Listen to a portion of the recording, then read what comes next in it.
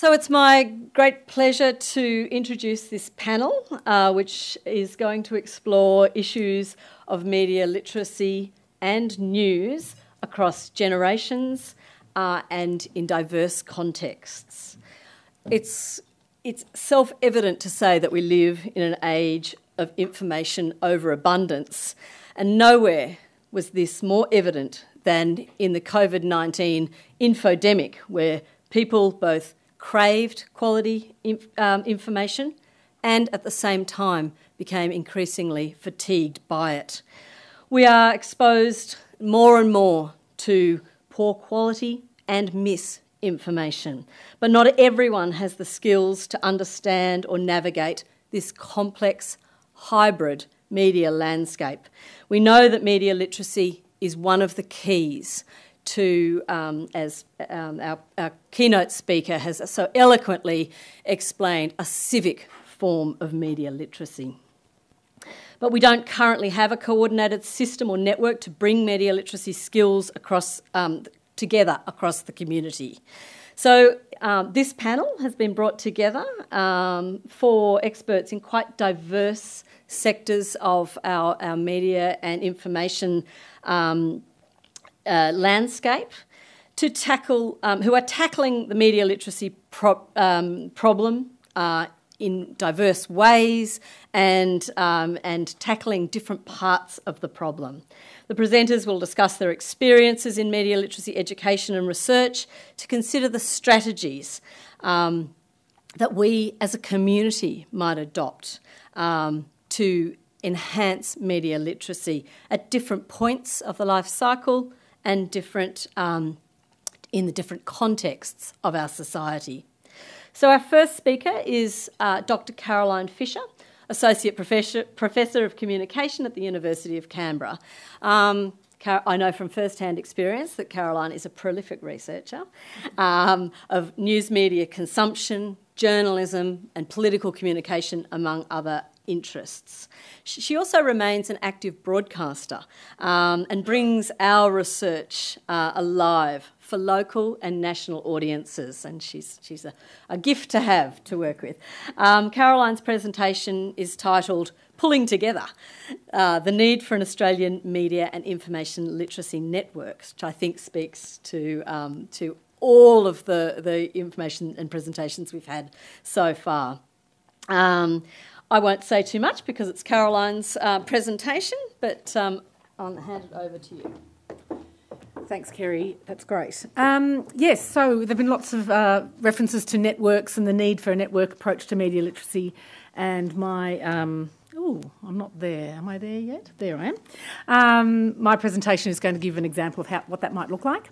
Uh, for some people in the room, this uh, proposal won't be new, um, but uh, and uh, it's great to see that the uh, federal government, in its response to the digital platforms inquiry, has supported a network approach. And again, this is a perhaps a template that they might like to adopt um, in in thinking about that. So, Alrighty. So when did uh, when did we first start thinking about this? At the News and Media Research Centre, one of our key flag, flagship projects each year is the Digital News Report Australia, part of a global uh, research effort looking at uh, news media consumption, uh, and it's led by the Reuters Institute for the Study of Journalism at the University of Oxford. And uh, each year we ask different questions. In a couple of our uh, surveys, we've asked specifically about media literacy understandings or knowledge. And it became very clear to us in our 2018 survey that uh, Australians on the whole had very uh, had low to very low news literacy. Um, I won't go through all the questions that that entailed, but they were basically about knowledge of the Australian news environment. For instance, you know, is is the ABC um, funded by advertising, you know, or by taxes? For instance, you'd be surprised to know very few people knew the answer to that question. So, um, based on these um, these types of questions, uh, we came up with this with this finding uh, that, on the whole, Australians have very poor understanding of the news media environment uh, in Australia. So, um, in response to that, we started to look into what media literacy programs are available here uh, and overseas, and we uh, conducted a massive review um, of uh, uh, current media literacy interventions. Uh, we did an extra- very big literature review of existing uh, literature into approaches. And um, I attended a, a, global conference in London in 2019 as well to speak to stakeholders uh, about um, current interventions. So, uh, based on that, and we asked, so the question underpinning all of this was what works, you know, what, what, what does actually work, and what did we find? So we found, first of all, that there's huge definitional problems. you know, what is media literacy? Uh, and, you know, that was a, class, classic example of how many literacies can there be? You know, and there was a question uh, in Queensland about, well, what about data literacy? Well, next we'll be asking about hologram literacy. I mean, you know, there's media literacy, there's digital literacy, there's news literacy, there's all these literacies uh, and which what do we focus on?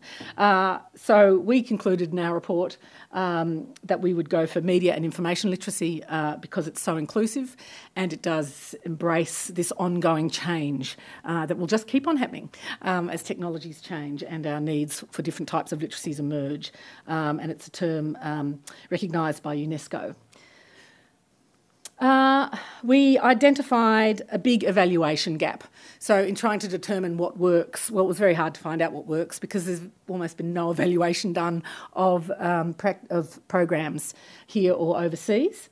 So, we need a lot more evaluation. We found also particular gaps in programs for certain groups, and this was reinforced uh, our data findings in the digital news report that particularly people in rural and regional uh, areas um, uh, there's very few groups for them, low socioeconomic, very few groups for them, and for the elderly as well, uh, few groups for them. And that, you know, the, the most of the um, interventions and the programs offered are school-based programs, so for school-aged children, but very little for the wider community. And that's true, else, you know, overseas as well. Um, what was clear from the literature and from talking to uh, stakeholders overseas was that a combined online and offline approach is needed. Um, that these simple online checklists or one off videos are not the answer for meaningful improvements in literacy levels.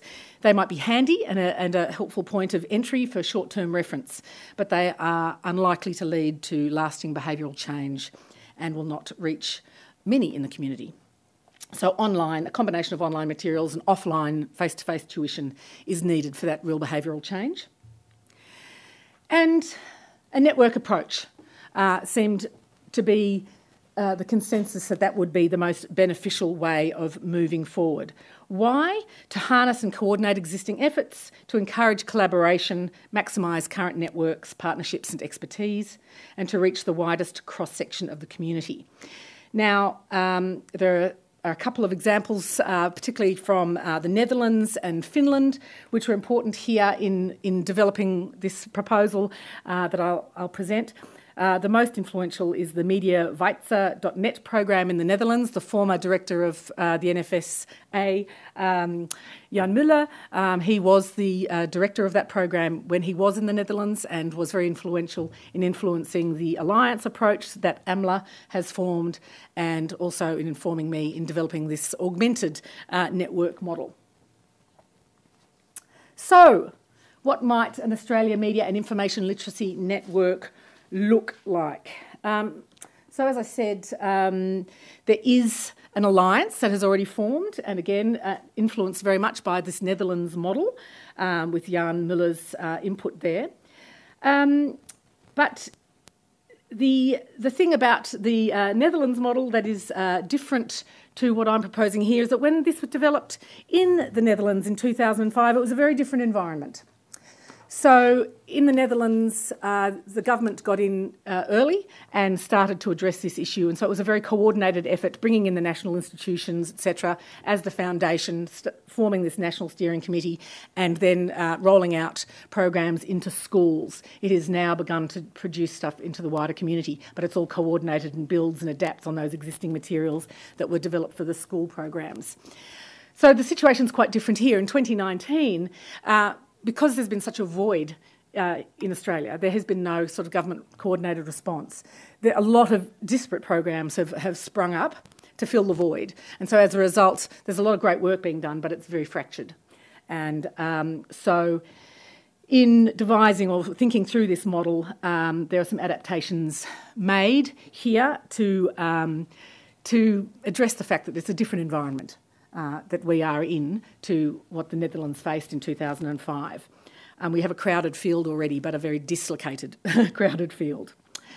So, um, similar to the Netherlands model, um, that the, an Australian network would be underpinned by a steering group um, of CEOs from the key national institutions that already play a role in educating the public uh, and committed to lifting uh, media and information literacy standards in Australia. So the ABC, MOAD, National Film and Sound Archive, the Australian Library and Information Association, uh, and media literacy research institutions.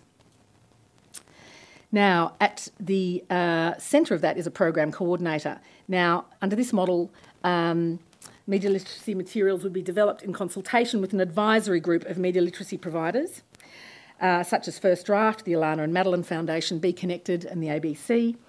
Uh, the program coordinator could then um, produce and distribute materials uh, and they'd be managed there um, in a central office. Ideally, this office could be based in one of the national institutions to make take advantage of existing uh, infrastructure and to, to have the national status of that organisation. Um, they would then be able to oversee uh, the development of online of an online presence for the network and the distribution of materials um, and related resources. Then, of course, this only works because it has this, you know, this the ripple effect and this uh, this effect where you know develops a huge network of supporters. Um, now, this is just an example of what a possible some possible future partners might look like uh, for this model. I mean, within 10 years of the Netherlands model, the Mediawijzer.net model being established, they had uh, already 1,100 partners within 10 years uh, delivering uh, media literacy uh, um, to the community okay, and engaged in the network which is phenomenal. So this is just an example. Uh, some, you know, networks through networks, uh, through people on the advisory panel, etc. The, the way it might kind of the web might build. So, um, I mean, what are the benefits of taking this network approach? I guess none of this is new to you, but there is a disparate media literacy, um, a, a, disparate range of ventures um, in Australia at the moment. Um, and the advantage being rather than fund individual isolated programs, a network or alliance approach would create cohesion between school based media literacy education and programs for adults and other target groups. This would maximise resources, increase consistency in approach, and be easier to monitor and evaluate. Importantly, it would unify efforts rather than have individual providers working in competition with each other and fighting over crumbs of funding. A network approach that is championed by our national institutions would provide long term leadership, advocacy, and awareness to promote a culture of media literacy across the country. And, you know, during this process, um, we consulted with uh, media literacy, literacy, stakeholders, all revealed uh, strong support uh, for this approach, except for one. anyway, so this is where we're at. Um, I guess you'll get the chance to ask questions about this approach um, during the Q&A session. But thanks very much for your attention.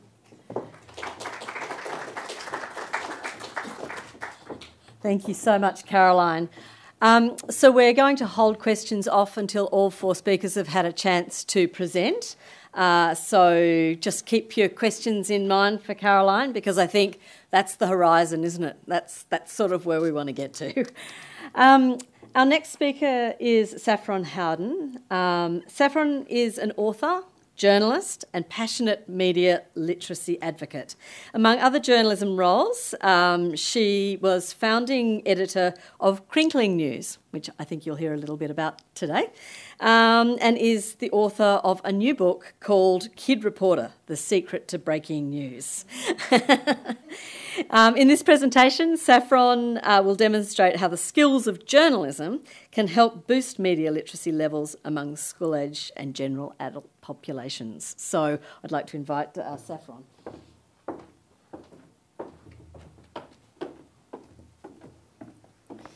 Thank you very much um, to the University of Canberra and, and, WSU and QUT for inviting me to take part in what I think is this really crucial symposium. Um, I'm proud to have been involved in some of the seminal um, national research into news and media literacy levels in Australia. Um, and, um, and I've been an advocate for media literacy, especially for young Australians, for um, the past five years, even as the problem of disinformation grows. Huh. Um, so I want to talk to you today about how we can turn those pesky journalist traits that politicians love so much, like nosiness and scepticism and asking lots of questions, um, into media literacy teaching tools. But firstly, I want to briefly mention Media Me. Um, so, one Sunday in November in 2017, 35 children and teenagers aged between 10 and 15 came together in Sydney um, to develop a national media literacy action plan, and they were from um, around Australia. It was the first conference of its kind held in this country, and it was hosted by the National Newspaper for Kids, which I co founded, Crinkling News, with support from Facebook, Google, News Initiative, the New South Wales Education Department, and, um, and quite a few others, including the Museum of Australian Democracy here in Canberra. The kids did a phenomenal job, I must say, um, and remembering how far we've come in the media literacy p- field in the last four years, this was pioneering, and I think we still have a lot to learn from those 35 young people today. So they considered media literacy a life skill, um, and with that in mind, this is what they recommended. They thought that t- uh, media literacy should be taught in schools um, and that it should be cross curriculum. Um, they thought teachers should be trained in media literacy skills and that school students should be regularly exposed to more news and current affairs. They, short, they thought that young people should be given the tools to create media themselves and that every school should have its own student created news media organisation, um, like a newspaper or a podcast or a radio station, whatever it might be. And they also thought that all um, major news organisations should include more content adapted for a child or teen audience. They thought that news should be verified, um, and I think this is a trickier one, um, but these young media literacy leaders thought there should be a verification system for legitimate news organisations and that social media platforms should operate under a um, shared code of ethics. And there should also be a national fact checking agency. So it's useful that we've got um, you here, Peter, because AAP sort of operates as that for us in Australia. Um, Four, they thought that there should be guidelines for journalists to respect and include young people in their coverage of news, that parents should have access to more information about media literacy, and that news organisations and social media platforms should be more transparent. Um, so I think one of the one of the things they canvassed was fines for disseminating fake news, which was an interesting one. Um, and crucially, I think they said that social media platforms' terms and conditions should be a lot easier to understand, not just for young people, but for people generally. And finally, they recommended that the news media industry establish annual awards for child and teen reporters and also create an award for um, the best news story about young people. All of this sounds pretty sensible to me. Um, but they require um, that elusive thing of getting educators, the government, education departments, the national curriculum, big tech, the news media, all in one room and all agreeing, which is, that was a joke. That was funny, yeah. So, um, Anyway, um, there, people are, as we know um, from today, um, that people are taking practical steps to improve news and media literacy uh, levels in this country, especially in the past four or so years. Teachers of media, individual schools, not for profits like the Alannah and Madeline Foundation, ABC Education, the Museum of Australian Democracy here in Canberra, um, even the global tech giants, and of course um, the Library Association as well. And I'm really looking forward to hearing more about that. My most recent contribution has been um, to Kid Reporter, um, The Secret to Breaking News, which was co written by Dana Quinn and myself. The book teaches an understanding of media by giving young people the tools to become reporters and media creators themselves. Um, it also acts on three of the recommendations that those young people made at Media Me. A, it's a vehicle for training media, uh, for teaching media literacy in schools. B, it gives young people the tools to develop their own news media for an audience of their peers. And C, it gives parents plenty of information about how to understand and navigate the uh, media. Um, for those not familiar with the book, um, it's aimed at children aged roughly um, eight and up. It shows them how to research and investigate, fact check, edit, interview, write, and produce news stories um, it teaches them what news is, what sources are, the role journalism plays in communities, society, and democracies. It's also a bit of a how to guide for a child or school wanting to start up their own newspaper or podcast or even TV style news program. Most importantly for us here today, it provides guidance on how to be an information detective. So, how to tell the difference between news and opinion and advertising, how to spot misinformation and disinformation, how to recognise perspective and bias, um, and how to test claims made in this sometimes fact free, um, anything goes world of social media. In short, I think it teaches that very core element of media literacy, which is critical thinking. Um, and it gives the kids, kids, kids the framework and space to make their own way there. So it's a sort of child-led practical learning, drawing on case studies of kids who've, who've already created their own news media programs. Um, the fact is, I think journalists have a lot of transferable skills that are useful for anyone trying to navigate the information overload of the digital age. They are natural critical thinkers. They're wired through habit to question things, be skeptical, verify information before sharing it with others, and question the motivation of people making claims. Um, they are adept at assessing information independently um, with a sense of a wider audience or sometimes a greater good in mind. I am, of course, generalising, um, and journalism clearly has its own issues to resolve. Um, it's very imperfect, but I think that's a whole other symposium uh, to deal with. Um, if all Australians, young and old, um, ask these simple questions that I've got up here um, about all pieces of information and all media, I think we could be well on our way to a much more media literate society. Um, so, who said it and, and what perspective are they coming from? Why did they say it? Can it be verified? Who is the intended audience for that information? How does your own experience of it influ- influence your view of that information? And now, key, what do you do with it once you've answered all those questions? Um, here's an example from the book um, to give you a sense of how we try and sort of get this across. We encourage kids to look at this photo of a puppy um, and think about all the different people who might share that image and about how who shares it and um, their motivation for sharing it can actually change its meaning. Um, so the image might be used in an advertisement for a pet shop, for example. Um, it might be used in an information campaign by a government authority asking people to get their pets desexed. Um, it might be used by an animal rights group, or it could be shared by a friend announcing the arrival of a new pet. Um, you can see, I think, what we're getting at here, which is that we're trying to encourage kids to think critically about information, where it comes from, why it's been produced or published, and who the intended audience is.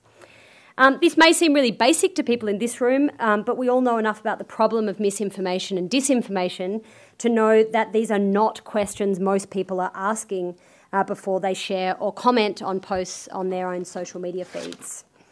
Um, to be sure, some journalists definitely need to ask these questions more often um, of information in their daily working lives.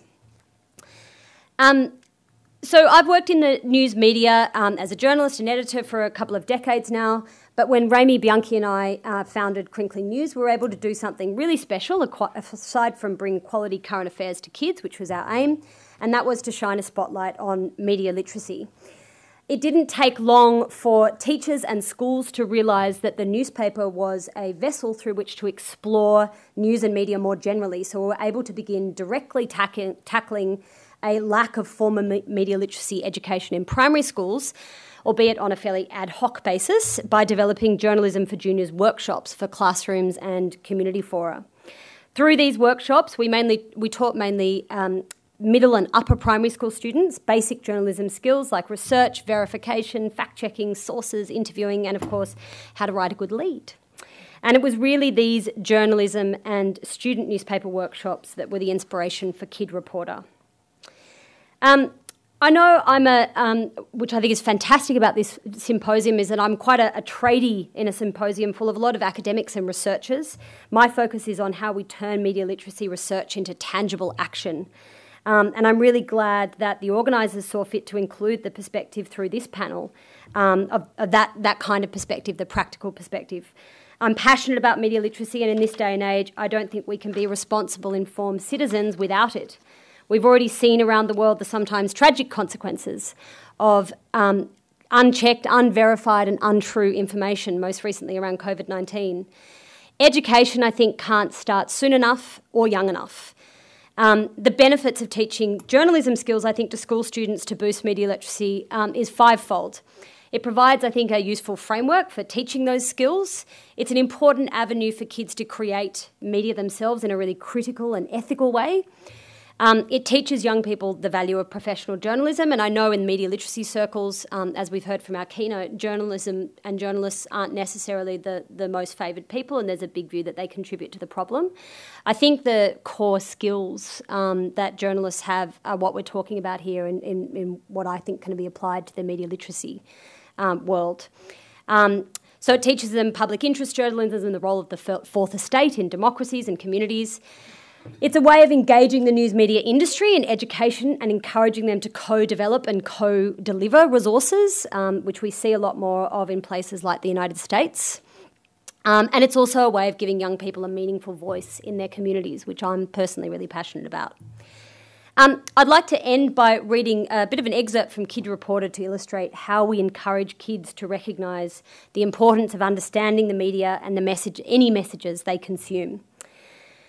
Before you can call yourself a reporter, you need to understand where information comes from, how it's created, how it's understood, and what's done with it. Journalists are critical thinkers. That means turning over every bit of evidence, examining it, and then making an informed decision about its, about its value.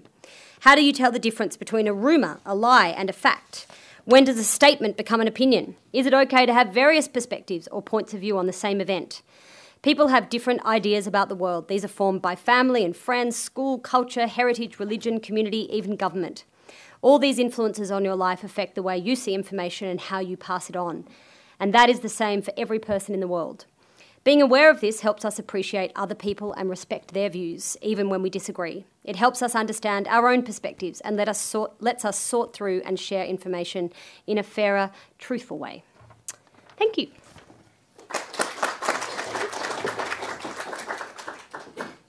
Thank you so much, Saffron. What an amazing intervention that one is. That's just extraordinary.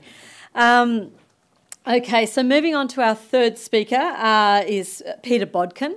Um, Peter is editor of AAP Fact Check. Um, uh, and AAP, of course, is Australian Associated Press.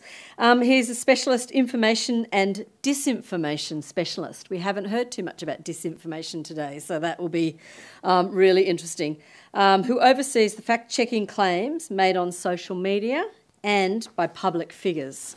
Um, Peter's presentation will provide insights into the front line of, of, of tackling uh, misinformation in public media and will share the techniques and principles used by AAP Fact Check that will form the basis of adult media literacy resources that they're currently creating. So I'd like to invite Peter Bodkin. Okay, I wonder if I can move that for you. Oh my God, I've just stuffed it up. Sorry, I'll just, sorry, I'll just leave it alone.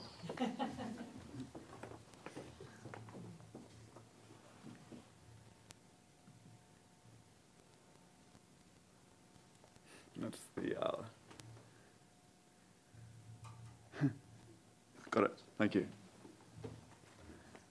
So hi everyone, my name is Peter Bodkin. I'm uh, the editor of AAP Fact Check. Um, as mentioned, AAP is Australian Associated Press, National Newswire.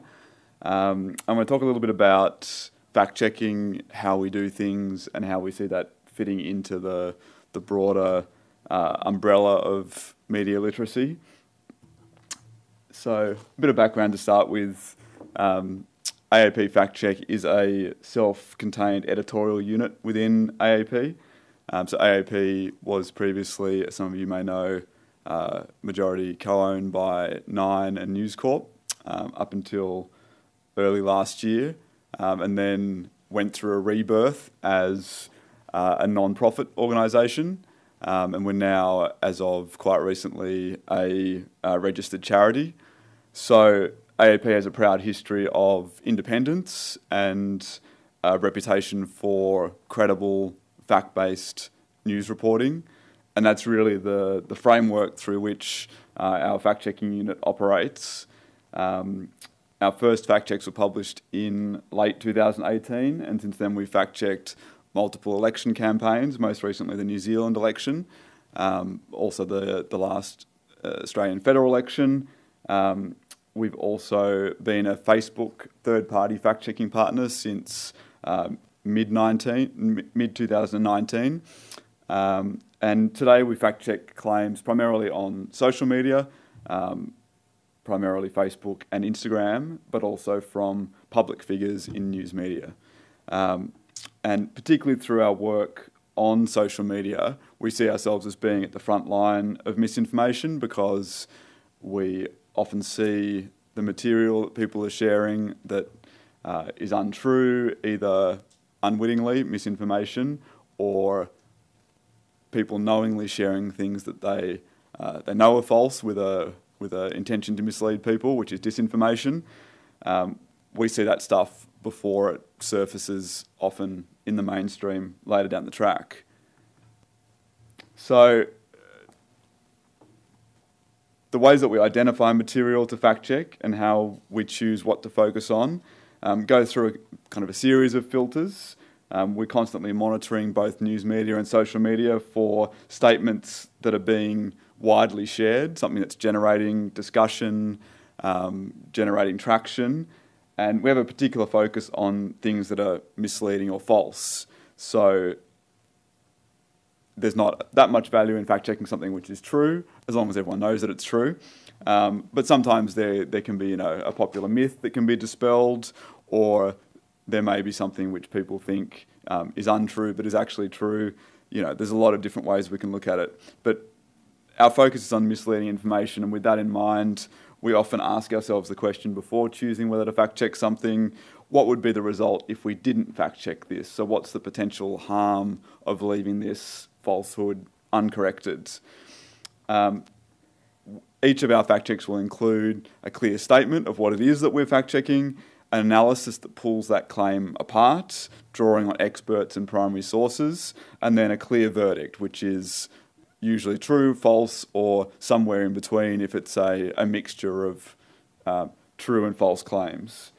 Those fact checks will then appear after we've published them prominently in Google search results. So if we fact check something to do with COVID 19, for example, and vaccines, if someone searches in Google for Pfizer side effects, a fact check, not necessarily ours, but maybe ours, will appear prominently in those search results. So that information is surfaced readily to, to people on the internet. Um, and in some cases, they're also those fact checks are also used by third-party publishers. So we have partnered with various news organisations, particularly around elections, and then our fact checks will also be used in uh, print media, have been used in broadcast media to give them a wider audience. Um, for material on Facebook and Instagram, um, our when we apply a verdict to a particular post, our fact check will then appear alongside that post so people can see um, accurate researched information that accompanies material that's being shared. So here's a couple of quick examples of fact checks that we've done just to give you an idea of the breadth of the material. Um, COVID 19 vaccine misinformation is one of the big ones that we've seen for more than six months now. Um, but there's a lot of material on social media surrounding COVID 19 vaccines that we um, fact check, debunk, analyse. And then on the, the right, a more traditional news media fact check, a statement from Scott Morrison um, regarding Australia's carbon emissions cuts. So these are just two examples, but we fact check a broad range of material.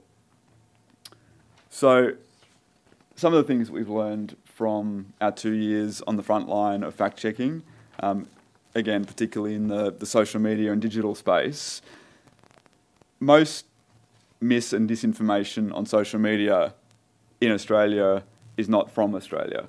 So there are recurring themes that are the products of networks of like minded people around the world. Um, particularly in English speaking countries, most take their cues from the US. Um, so, for example, in Australia during the US president, presidential election, we started seeing a lot of material in Australia about repeating um, Donald Trump's stolen election claims.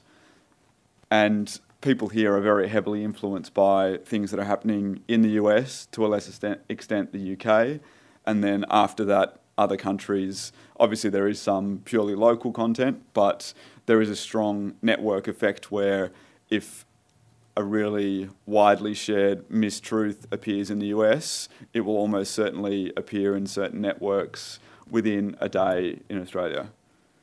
Um, the pandemic has thrown together some pretty unlikely groups. So, one thing that we've seen since the start of COVID 19 has been the mixing together of groups that you think would be not logical bedfellows. So, everyone from QAnon conspiracy theorists to anti vaxxers to the far right have all congregated around certain themes to do with COVID 19, um, vaccinations, loss of personal freedoms, these kind of ideas.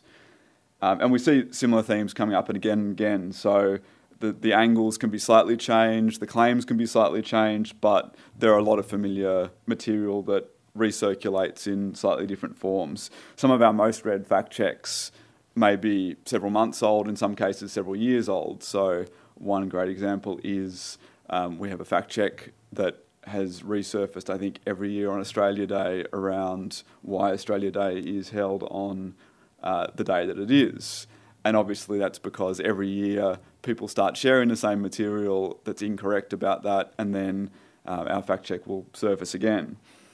Um, so the material is relentless. There is so much out of there that it means no matter how big our team grows, no matter how many fact checkers there are around the world, we'll still be only working on a tip of the iceberg. To give you an idea of how big the, the problem is or how big the um, need that we're addressing is, every month around a million posts around the world on Instagram and Facebook are labelled with our fact checks alone. And we're one of more than 100 um, fact checking organisations around the world that are accredited with the IFCN, the International Fact Checking Network.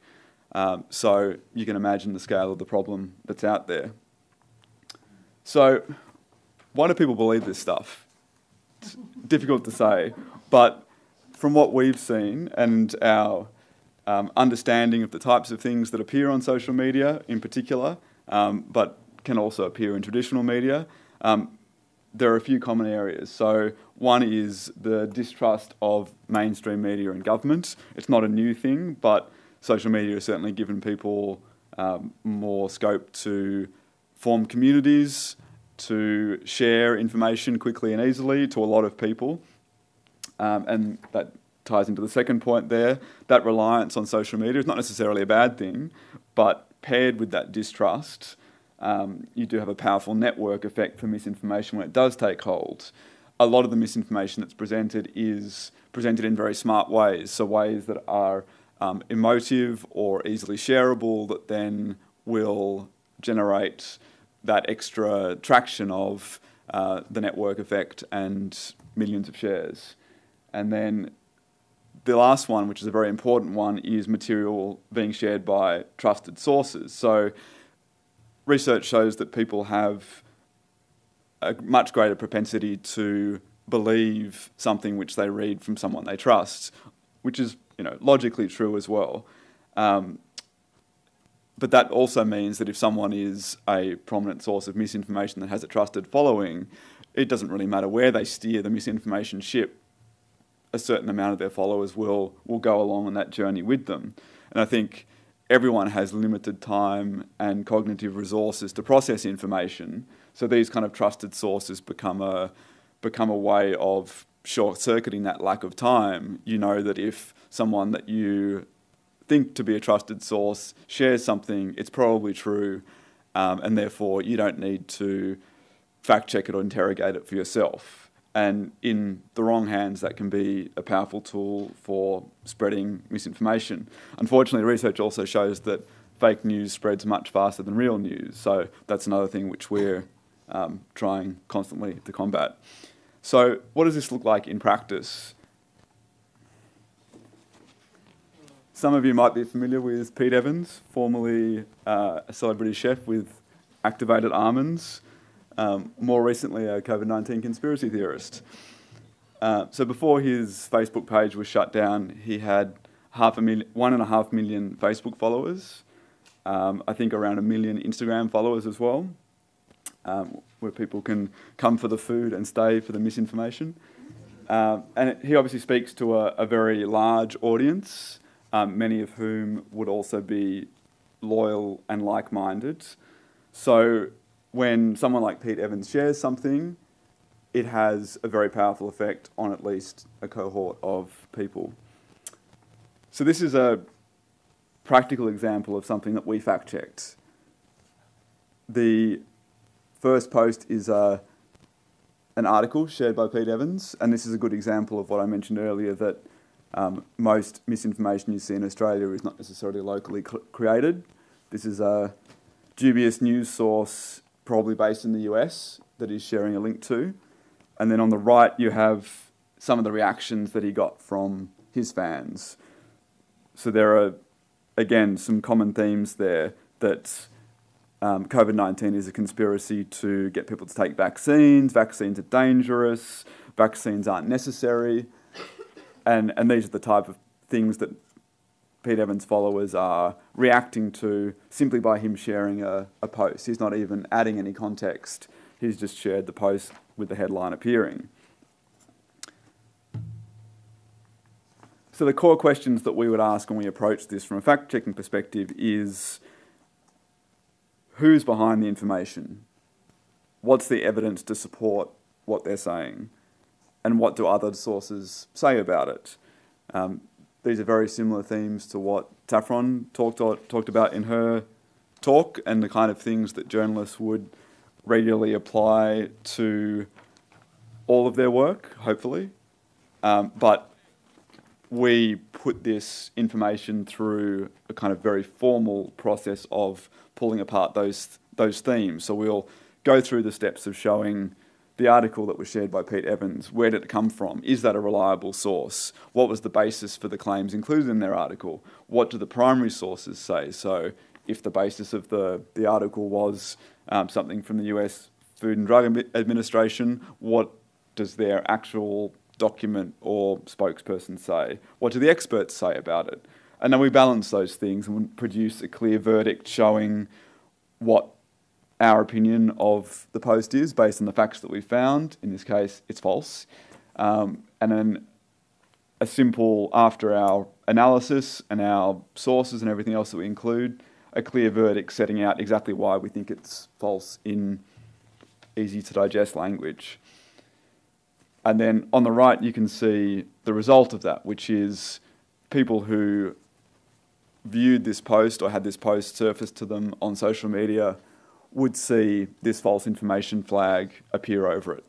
So they can still see the post, it's not being censored, but this trigger, Facebook says, uh, makes people significantly less likely to then click through to the material, um, much less likely to share it, and it also, through their algorithms, deprioritizes that content. So instead of that content being shown to potentially millions of people, it might only be, be shown to thousands of people. So all of that has the effect of limiting the spread of that misinformation. So I've done a lot of talking about fact checking. Um, how we see this fitting into the the sphere of media literacy, and the kind of importance of this type of work in the broader context of media literacy we, so we aim at a broad audience, primarily online. Um, as I m- mentioned, our content is surfaced through Google, through through Facebook and social media, but we also work with traditional publishers to get our, our fact checks published in um, print media and other places like that. Um, but more importantly, we try to promote critical thinking, the critical thinking that um, Saffron was talking about, that journalists apply all of the time, um, and show fact checking as a process that everyone can and should do.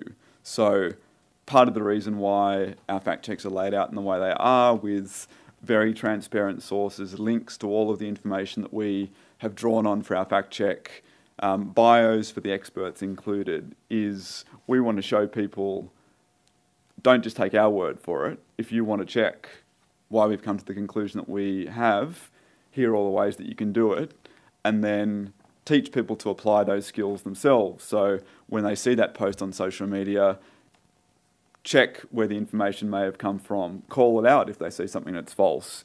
And that's one of the really um, good things to see when you when you are on social media and, and looking at misinformation all the time, which you know is not the most entertaining pursuit, is when you see people who actually do go through that process and call out uh, you know, false information when they see it and you don't need to fact check something because someone else just in um, in the comments has already fact checked it for you. So that's the kind of thinking and type of approach that we're promoting, um, as well as that getting people to think themselves before they share content. So act as a circuit breaker to stop something from spreading too widely. So a little bit about how fact checking works or can work and what it can teach people. Um, this is this chart here is drawn from research produced in 2017 by MIT and the University of Western Australia, looking at perceptions of statements made by Donald Trump before the 2016 election. Essentially, it found that, as you would expect, people who are um, Republicans, strong Trump supporters, are more likely to believe something that Donald Trump says, both when it's true and demonstrably false. However, when people were presented with statements, those statements, and then they were corrected when false, and they were presented with a brief explanation to, as to why they were corrected, all groups were then less likely to believe the false information. And that includes the strong Trump supporters, although the effect was less powerful depending on people's preconceived beliefs. Um, it is worth noting, though, that that effect diminished slightly over time. So after a week, that effect was less powerful, but it, it still lingered. Um, this shows as well that people, as a general rule, are more likely to interrogate claims that run counter to their views than ones that are in line with their views. So, part of what we try to do as fact checkers is um, be non-partisan, to be um, broad-based. So, we're fact checking things from across the political spectrum that fit in with many different potential political and world views um, to show that the same processes apply equally to all material out there. And the people we're trying to reach are obviously people who are, are engaged with information, which is everyone, um, and we're looking to inform and assist those. Um, the only caveat to that is we primarily see ourselves as targeting people who are interested in engaging with objective facts. Um, so that includes people who have strong preconceived beliefs, but for reasons that I'll explain later, there are certain groups who may not be um, reachable with the kind of material that we produce and these approaches, and we accept that. So this is an example of the two types of um, news consumers out there. One is this is some feedback that we got sent directly about I, I don't even know what the fact check is, but we've kind of got a greatest hits there of Bill Gates and depopulation and satanic baby killers gets a run. Um, these are the kind of people that, um, if they have beliefs that are so strongly conceived and so removed from the facts um, that they're not interested in, in engaging with a fact check, then they're probably not people that we can reach with our material. Um, the other type of consumer that we're talking about on the right is someone who's been presented with misinformation, this is on Twitter, um, about um, Rupert Murdoch taking regional news grants um, to build a profit in his business. We did a fact check about this, um, and they're, they're being called out by someone on, on Twitter who's saying, you know, I thought it had, but actually that's not true. So we're trying to engage with those people who can, um, who are interested in engaging with the facts and can be swayed even if it goes against their preconceived beliefs. Um, so I'll wrap up quickly here, but we are um, looking to extend that work beyond the, the published fact checks that we do. Um, we're looking to support Australians in bringing a critical mindset to the content they read and share. Um, and part of how we're doing that is we are partnering with Facebook to produce um, resources amount around media literacy and um, debunking fact checking. So, showing people how simple the process is, really, how everyone can do it, and the importance of doing that in their own news consumption, their own social media consumption, um, interrogating claims as they see it, and thinking before they share, essentially. So, thank you very much.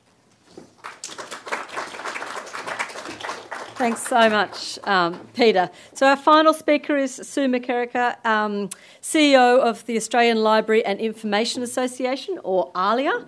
Um, Sue is a highly experienced media marketing uh, and advocacy professional, and in her role at ALIA, she pursues freedom to access information, digital inclusion, and media literacy. Sue's presentation is titled Trust Us, We Know the Difference. Um, and Sue will explain the role of librarians as an important weapon in the fight against misinformation for people across the community. So I'll hand it to you. Thank you. Kerry. As soon as somebody says librarians, people leave the room. I don't know why this is. And I will say this is my first face to face presentation in a year, so I'm looking for the share screen button. So, this is your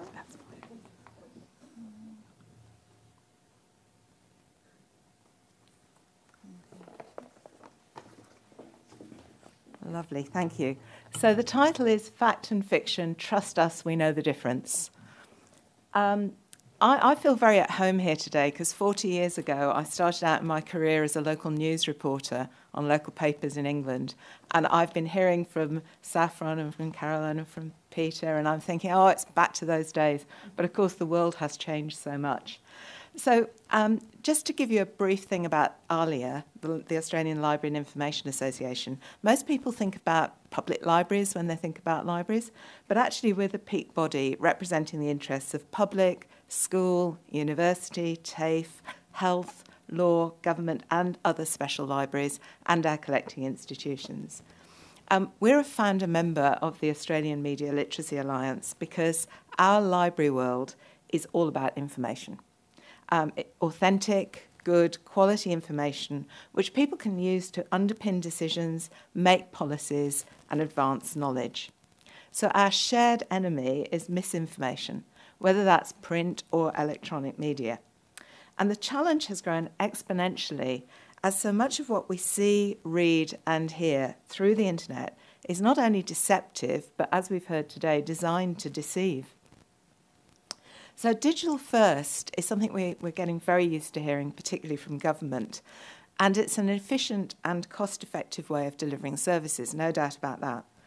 But it only works if people are digitally literate, sufficiently astute, tech and media savvy to avoid the scammers, the hackers, the data sharks lurking on the internet. So, how do we reach adult Australians? Because what's happening in schools is amazing. You know, through the, Me- the Australian Media Literacy Alliance, we've found out about ABC education programs, what's happening at the Museum of Australian Democracy, and here at the National Film and Sound Archive. And there are some amazing programs going on. But the reason we're all here today is to talk about the need for an education campaign around media literacy and adult Australians and the adult Australians, particularly, who are most vulnerable to misinformation. So the big question is how do we reach the right people in the right mindset to absorb the conversation? Because it's not something you can just bowl up to somebody and say, hey, let's talk about media literacy. So, do we do it through the AFL? We have a diverse community of 993,000 members nationwide support football.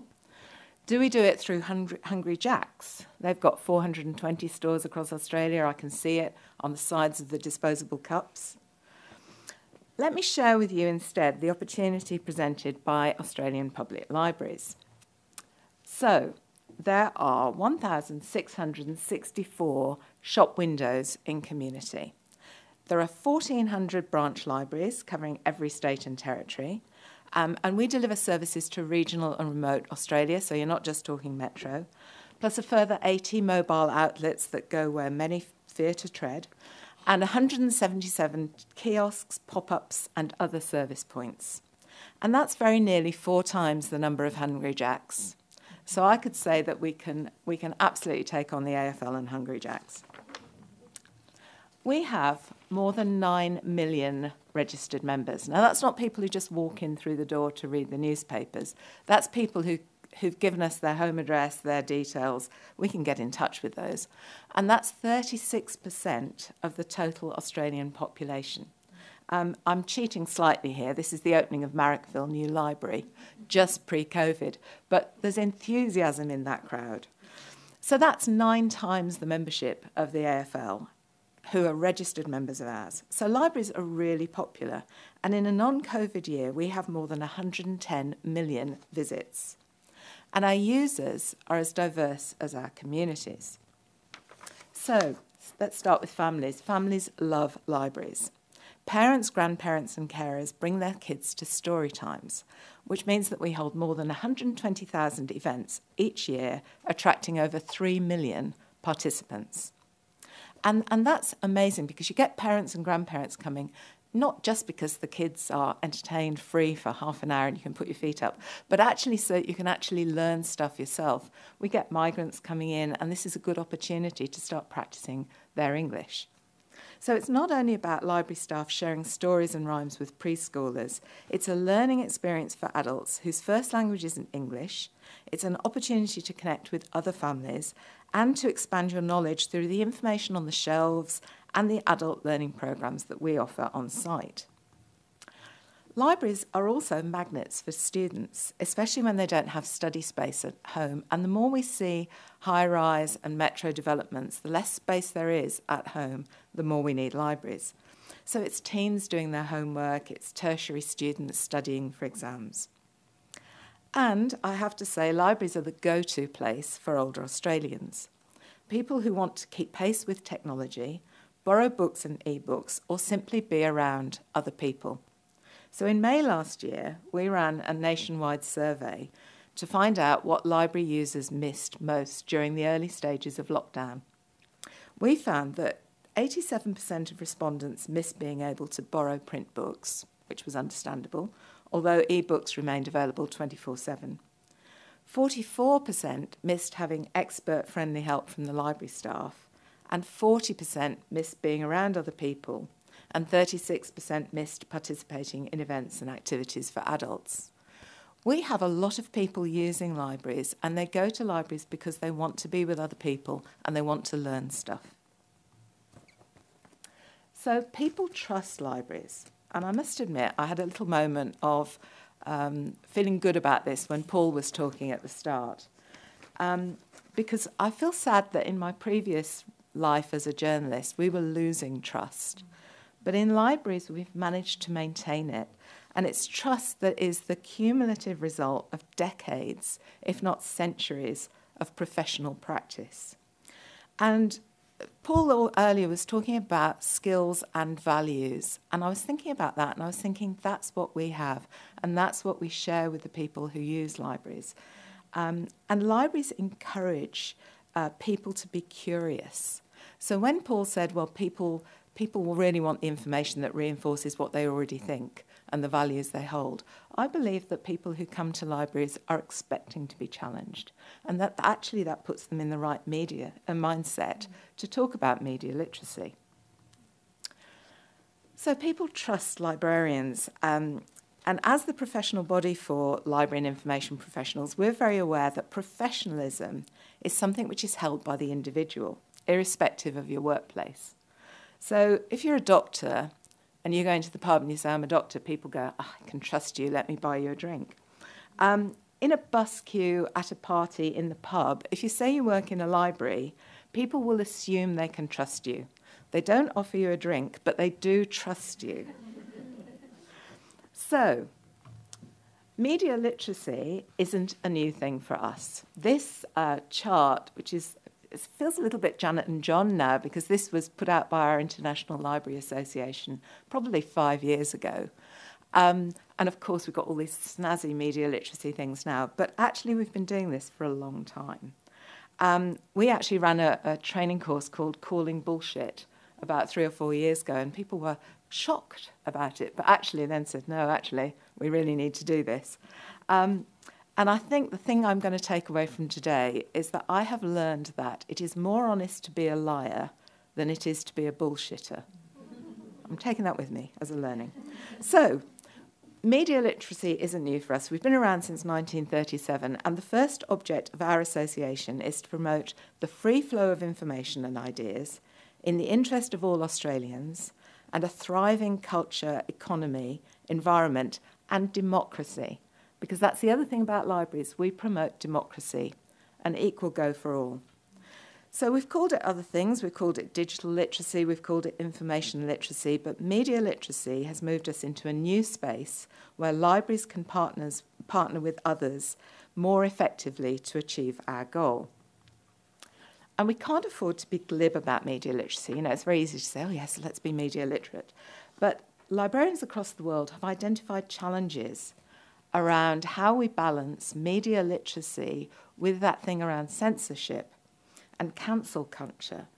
And those things can be carried out under, under the guise of tackling misinformation and fake news, but actually they're a bad thing. And I would like to just share with you an example which popped up to us about last week, I think. I'm looking at Trish, my colleague in the audience. Last week, which was a gorgeous example where an Adelaide council decided to do the right thing on International Women's Day and instructed the library to remove, to remove Women's Day, New Idea, and other magazines which were toxic and full of misinformation. Now, I don't know how many hours it took for those magazines to be back on the shelves after the community rallied and said, But we love that stuff. We need it back. And we know it's misinformation, but we still love it. And going to, to Peter's point of how do we make people love news and not fake information? We've got to make news more fun. Oh, sorry. Anyway, so. But libraries are perfectly positioned. Um, we are perfectly placed to be part of the media literacy solution for adult Australians. And I'm just going to repeat the numbers. We have got 1,664 locations, and most of those have community meeting rooms so we can bring people together. We have 9.3 million registered members, people who have volunteered and are currently on our database. In a normal year, we have 110 million visits, and we run 273,000 programs, more than a quarter of a million programs each year, attracting 7.4 million attendees. And people come to us because they're seeking information and information related experiences, so they're in the right mindset. So that's a snapshot of what Australian public libraries have to offer. I hope you can see some ways that we could work together to build adult media literacy in response to the report that's being released tomorrow, but actually we're going to hear about very shortly. And I'd like to congratulate Tanya Notley, Simon Chambers, Sora Park, and Michael Dezuanni for this excellent piece of work. I've seen their work over, over the months, and I really believe they are doing world class research in this area. So, I would just like to say if you can see the opportunity, we would love to hear from you. There are my details. Please give us a call. Thank you.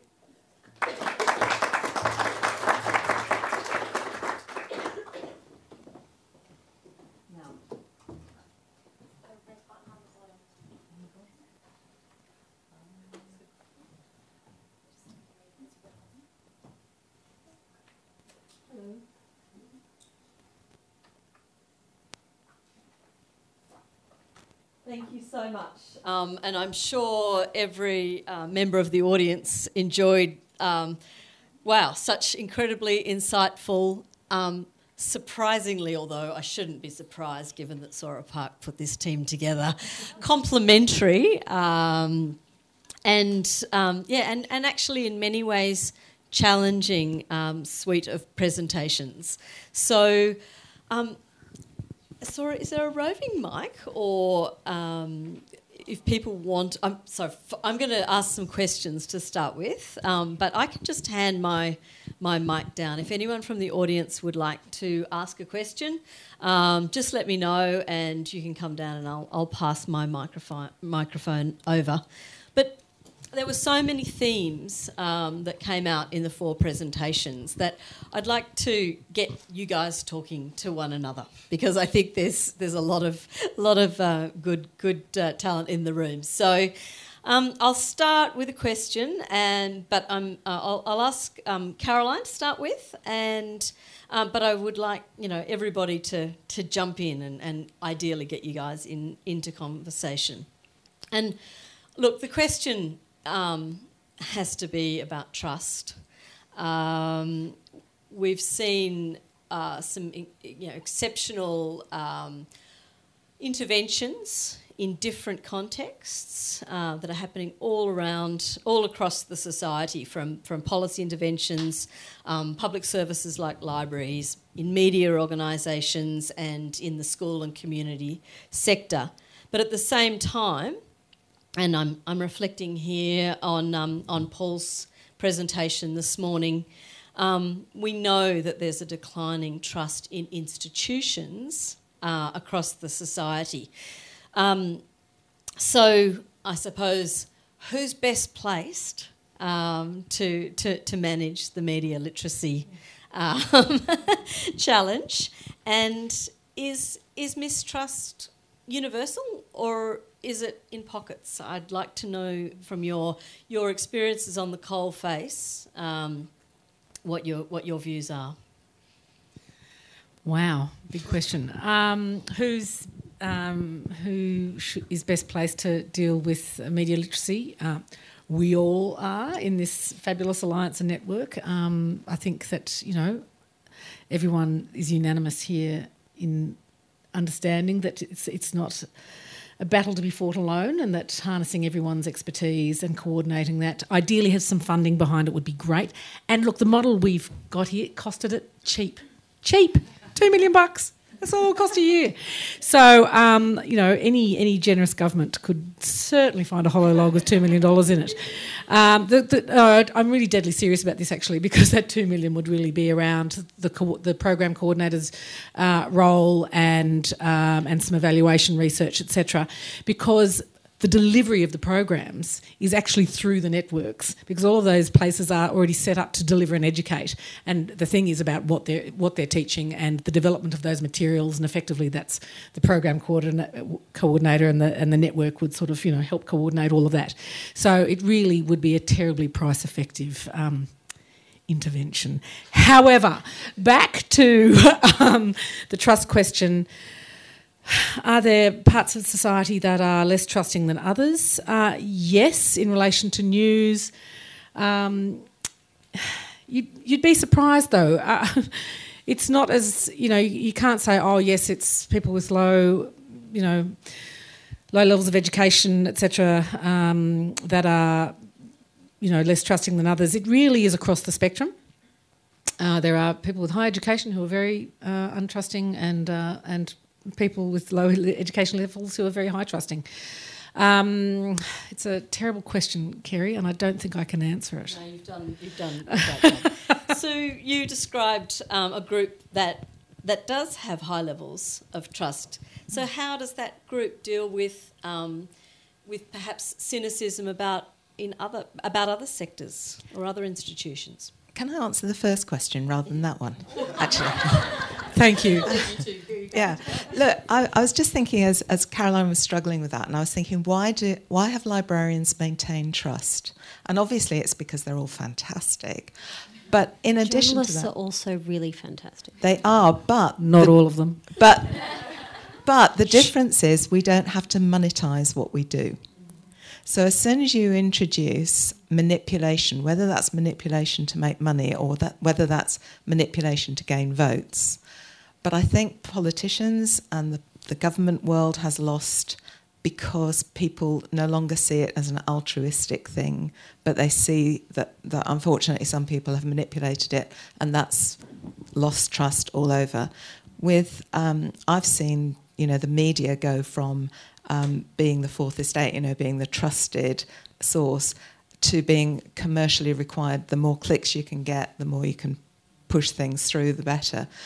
Libraries have not suffered that because we're very fortunate to be funded by local, state governments.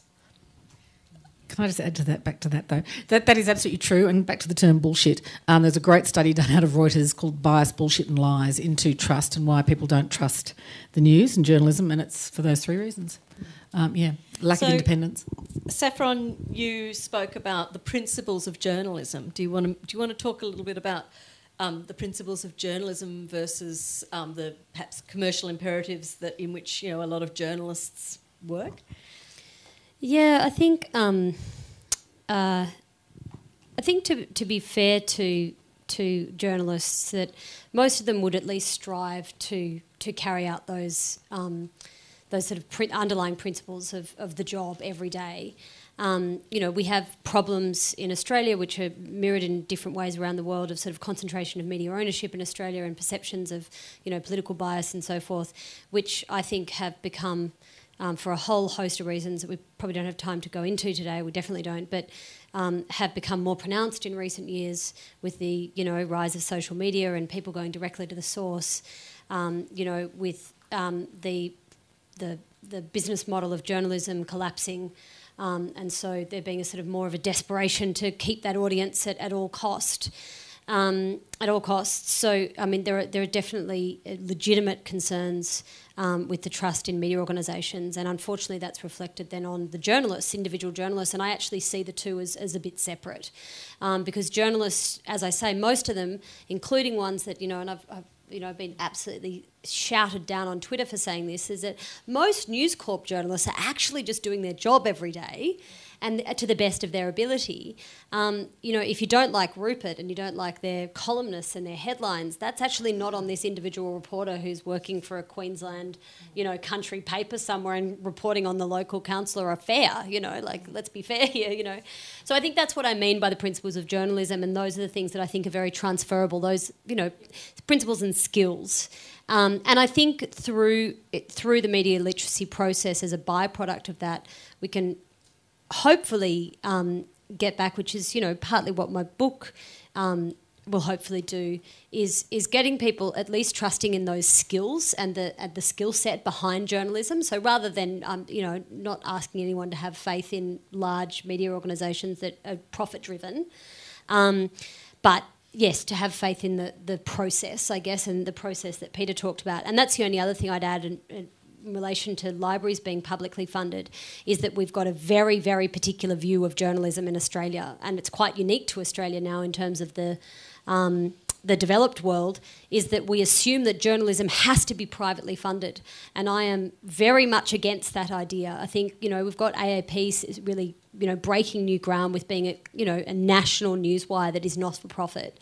Um, I think we have to see more of that in Australia, and the one of the things that government needs to do is make it a lot easier for news to act as as not for profits. Um, and yeah, it's funny. I remember doing an interview with the ABC um, a little while ago and saying, you know, um, that this idea that we shouldn't see an imperative for news to make money. And the interviewer said to me, "Oh, you know," I said, "You know, you don't you don't expect to you know pay more than whatever five bucks to go to the public pool. Why should be you be expected to pay an absolute mountain for what we all should have a right to as as citizens in a democracy, which is information, you know, to make decisions about our lives." And he, the interviewer, I won't name it, it was Robbie Buck in Sydney, laughed at me and, um, and said, Oh, that's ridiculous. I mean, you know, news, news isn't public pools. And I said, well, I didn't say it. But, um, but, you know, he's working for the ABC, the publicly funded ABC, as he was asking me these questions. And I'm like, well, there should be more of that, um, that approach to journalism, which is that we should actually see it as a right to have um, access to quality information, and, and that goes for all age groups. And I'll, I'll get off my soapbox now. Peter, did you have a reflection on on that? Yeah, I, I, think, my only reflection is that I don't think, from my perspective, media literacy, particularly in the news space, is not about getting people to trust the media or getting people to trust government. I think it's about the difference between a healthy and an unhealthy mistrust. So, part of journalistic training is to not trust the government, for example, or at least not take anything that you're told at face value. So, then as a journalist, you can't turn around to people and say, but take everything the media says at face value. I think the processes that both Saffron and I talked about, using those kind of journalistic techniques to interrogate everything, to question, you know, the the motivation behind something that's being said. Um, make sure you check the source behind it. Look for independent, verifiable facts or um, counter information before working out if something is true and or useful to you is something that is really useful to apply not only to stuff that you see on social media or um, stuff that you might be you know told by a politician. It's also really useful to apply to the media. So i think it's about showing people that you you shouldn't trust the media as a amorphous mass you shouldn't even trust one outlet that you see as being particularly trusted. You should always you know get your information from a range of sources. You should interrogate that information. So there's you're sort of describing a, um, a, a, level of critical thinking versus a deep cynicism, which I think was what yeah what Paul was sort of worrying about. So there's sort of there's little glimpses of hope, isn't there, in the in the in the debate. Um, I'll stick with you for the moment, Peter. You described a, a fast-paced, fast-changing um, media environment in which fact-checking is one one mechanism or technique that's being used. Um, to combat misinformation. Um, is it possible for uh, media organisations or for perhaps librarians or other um, other fact checkers um, to to keep up with what's going on in the in the in the changing sort of digital environment? No. that was easy. um, no, I think as I as I mentioned unfortunately, research shows that misinformation spreads faster than true information in general. Um, so, what we're doing, what any other fact checking organisation is doing, is just the tip of the iceberg. And I think there is some some um, efforts to counter misinformation with facts can be counterproductive when it's not presented in a way that enables people to uh, interrogate them for themselves. So, for example, you know, it's quite common around a public health campaign for government websites to have frequently asked questions that dispel popular myths about about a vaccine, for example. That's not I'm not saying that's counterproductive, but there will be a certain cohort of people that that won't reach, even if even if they read it, they won't believe it. Yeah. And I think part of the reason for that is because it's presented in a way that says, "Trust us," not "trust us because," just "trust yeah, us." Okay. And I think,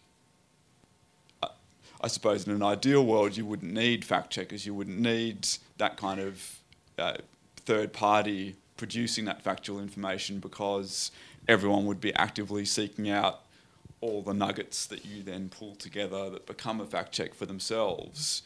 That's probably not possible because people don't have the time. I mean, it's a very um, labour intensive task, but I think the kind of thing that we're looking to do that would be useful to people is equipping them with those tools so that sure, the misinformation will move faster than yeah, okay, we can ever yep. move, or the media can move, or um, groups like the Library Association or anyone else can move. But people's ability to digest that information and get what is meaningful and useful out of it um, and discard the rest, that ability will be able to move just as fast. Sue, um, in the library context? Well, uh, I would agree with Peter. If you look at individuals keeping up with technology, the answer is no, nobody can. But I think what happens in the library world is that we do groupthink. So I would like to share with you an example of where we've harnessed the technology to do amazing work. Um, we have health librarians working across hospitals and, and health situations, and they've set up live uh, search streams. So they're actually scanning the internet using these live search streams and uh, it's it's like watching ticker tape go through. You can see the very latest COVID facts, COVID research, so that health practitioners could uh, go onto their hospital database and just see what the very latest, within the last 30 minutes, what was being said around the world because we'd sourced this and we were feeding out from Australia into the world system. We were having it fed back from the US and all over. And actually, that's harnessing the technology and harnessing the power of information experts. Great. Um, Saffron or Caroline, do you want to make Yeah, I a was just comment gonna- about that? I was just going to say very briefly that I think one of the things I really like about the media literacy approach is that um, it once you've once you've imparted the principles to people um, and given them the tools and the skills, it shouldn't matter what technology or platform um, they encounter after that. They should be able to apply those same critical thinking skills to each new iteration of YouTube or Facebook or you know, what was that other one? MySpace, you know. So then Facebook will go the way of MySpace. At some point, we'll be, you know, we'll have something else. Um, you know, computers will change, you know, the tablets will morph into something else. And I think that's what's so amazing about those media literacy skills is you can take them with you throughout your life, with, throughout changes. Um, and the, the, the core sort of critical thinking skills don't change. Yeah, great. Look, we've only got a couple of moments left, um, but I would love it if someone from the um, from the audience wanted to ask a question. Yes, um, Sue from the University of Canberra. Yeah, if you're happy to yell, I don't want anyone tripping down the stairs. Um, I'd like to pick up on something Paul said earlier as well, but it's sort of more in the context of how do we actually get people to care? That if you're going onto social media for entertainment and all that sort of stuff, and Sue's comment about we have to make the news more fun, I get that too. But if people are going on there, and Paul said something interesting in his talk about maybe social media isn't the platform where we should be having civic discussions potentially, then where do we have them? But you know, it goes to my question of how do how do we make people care about whether what they're reading is I'll start with Caroline. Why, why is it important? I mean, Yeah. oh, we understand obviously Yeah. why it's important, but how do we make people care? I think it's a really interesting uh, question and an important one because, let's face it, media literacy, it's not very sexy. Um, you know, ethics isn't very sexy either. These are hard things to kind of make interesting, you know. Um, and I think the big thing that Paul talked about in his uh, talk was that you know we are all all seeking confirmation. You know, confirmation bias. We we we read information and think, oh yeah, well that accords with my point of view, so it must be right. So even trying to um, isolate information for individuals that they might even question. You know, what is one person's misinformation is someone else's truth. And so I think that that's really hard. A lot of the time, people don't know that they're looking at misinformation because it accords with their their worldview. So I think these are fundamentally really important questions. There is no immediate answer, but I think I think that's right. Yeah, it, it's it's a good question. I think you can do it by making it relevant to people. Um, so, in the specific case of what I've done, you know, I haven't written a book saying media literacy for children aged 10 to, you know, whatever. I've written Kid Reporter, The Secret to Breaking News, and I've made it about, you know, Dana and I made it about, you know, how do you, how do you start a, you know, school podcast yourself? Um, but then we've woven in all this media literacy information. And I think while you probably have to find the niche for you know for different groups in society i think it's really doable. I think that the number one thing just like you know you do when you write a you know a news story you, you try to make it relevant to your audience. And i think that's what we've got to do with media literacy. And what i love about this forum is that we're, we're taking out of the research and the academic heads. We're using that information and how do we do that in the real world? Um, and whether it's at a library or at a school I think it's, it's actually eminently doable. It just requires a bit of thought as to you know which group needs what. I think I think there are a couple of answers here. One for me is friends and family. So I think you know a government information campaign that is you know an article in the Age and an article in the Sydney Morning Herald, that's not going to do it. But um, we know that in libraries, when somebody says, "Oh, that's," I'm going to tell my family about that, and the next week you get a whole group of people coming back saying, "Can I do that program? Because that sounds really good," and it's it's that grassroots kind of thing where it, it goes around. So I think I think that's for us really friends and family would be the way to spread the message and the, and the thing. But I think also when you look at society and you look at the way young people are um, really uh, taking to, to, uh, to, task the whole concept of climate change. They, they want a better world. They can see what a mess my generation has made of it, and they're saying we want this to be better. So I think we've got the right moment in time to actually do something about this. Peter, just one very small comment at the end. Uh, yeah, I mean, I'm obviously coming this particularly from a perspective of misinformation, disinformation. I don't, from my perspective I don't, I don't think the problem is that people don't care. Um, I think most misinformation, as distinct from disinformation, comes from a place of caring. So, if you take the example of um, anti vaccine misinformation, it usually comes from a good place. The good place is, you know, a parent wanting what's best for their children or someone wanting what's best for their own health the problem is that that then takes a certain turn that then means people don't trust trustworthy sources of information. So I think it, it, kind of comes back to what we've all been saying around equipping people with the skills. Um, I think the the key element in the kind of well, taking the fact that people already care about getting what's right and just, uh, I suppose, showing them that what they believe to be right may not be in a way that can be uh, absorbed. Uh, not calling it media literacy is probably a good start. Take out for the day. Let's find a new name for media literacy. No, just joking.